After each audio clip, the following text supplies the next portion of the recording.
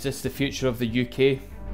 This is a radical proposal with limitless economic potential which will reduce journey times to the blink of an eye and eliminate carbon emissions. This game changer will obliterate the UK's north-south divide. This is not HS2, this is Hyperloop. Hyperloop is truly a new mode of transport and is the brainchild of Elon Musk who unveiled his plans in 2012. Although Musk and his companies are not directly involved in Hyperloop development, several startups showed genuine promise of delivering passengers to their destination in supreme comfort and at speeds just shy of supersonic. These outrageous speeds are possible by creating a near frictionless environment where pods capable of carrying passengers and cargo are constructed with magnetic levitation technology or maglev for short. This technology is essentially a series of magnets which repel one another to lift the pod from the track, practically like an air hockey puck. Further magnets can be utilised using this phenomenon to propel the pods using minimal energy, creating an extremely efficient mode of transport. These levitating pods are propelled within a vast network of vacuum sealed tubes and tunnels. Inside this closed environment, the air is extracted to further reduce friction and mimic air pressure conditions of 200,000 feet above sea level, the equivalent of nearly six times an airliner's cruising altitude. As seemingly futuristic as Hyperloop seems, maglev trains are currently operating in China and in Japan, Tokyo and Osaka are to be connected by a brand new maglev line, proving it as a concept. While in 1799, George Medhurst first conceived a railway which would run in pressurised tunnels with reduced air resistance. Even industrial great Isambard Brunel constructed an atmospheric railway in 1846. However, the leather seals which sealed the pipes were susceptible to deterioration ultimately rendering this project a failure. Coming back to 2021, who is leading this green and incredibly fast transport revolution to change the way we travel? Founded in 2013, Hyperloop Transportation Technologies has the backing of many leading companies including Hitachi.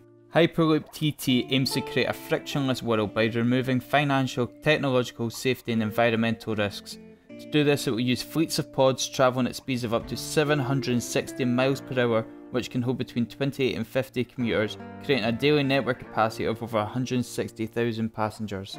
In 2018, they signed the first commercial agreement to construct a Hyperloop in Abu Dhabi, with plans to expand the network throughout the UAE. Also in 2018, Hyperloop TT agreed to construct a cargo prototype in the German port city of Hamburg and agreed to conduct a feasibility study of a passenger and freight route between Chicago, Cleveland and Pittsburgh. This study was then released in 2019, proving the economic benefit of a Hyperloop along this corridor. Formerly Hyperloop 1 prior to a rebrand after significant investment, Virgin Hyperloop is arguably leading the revolution.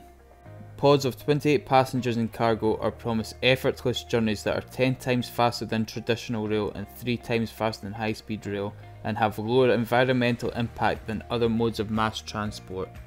An automated command and control system ensures safe and reliable travel on a service which is on demand and direct. Virgin Hyperloop claim that by eliminating aerodynamic drag, their Hyperloop will have half the cross-sectional area of a high-speed rail tunnel and therefore half the cost. This could be a potentially huge factor in connecting urban centres to Hyperloop. On November 8, 2020, Virgin Hyperloop successfully conducted the world's first Hyperloop passenger test with a pod of 4 passengers reaching a velocity of 48 metres a second. Virgin Hyperloop is also currently working on several projects around the world.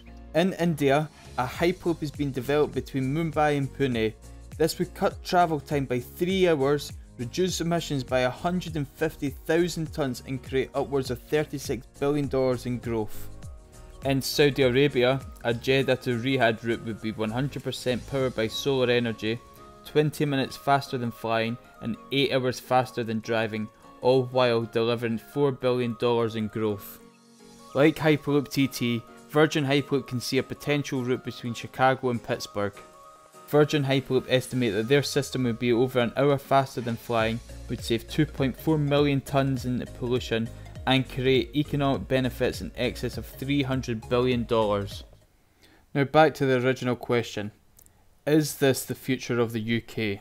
With HS2 costs continually spiralling out of control, growing environmental concerns regarding its construction, and it only benefiting certain areas of the UK, possibly a strategic rethink is required. Furthermore, an optimistically estimated 20 billion cost for a proposed 30 mile connection between Northern Ireland and Scotland has been described as a vanity project and its benefit doubted. Perhaps a new innovative solution with enormous national benefits is the answer. Hyperloop will cruise at far superior speeds and is enormously more efficient than air travel and high speed rail. Coupled with no weather disruptions due to its enclosed environment, Hyperloop offers a clear sustainable solution with zero emissions. One suggested route connecting the capitals of England, Scotland and Wales could transform the UK economy by significantly strengthening domestic economic ties in a post-Brexit Britain. Even travelling between Edinburgh and Glasgow would only take 7 minutes, half the time it takes to walk the length of Princes Street. This accessibility will ensure the resources of a combined population of over 2 million despite being separated by 46 miles. The potential is endless.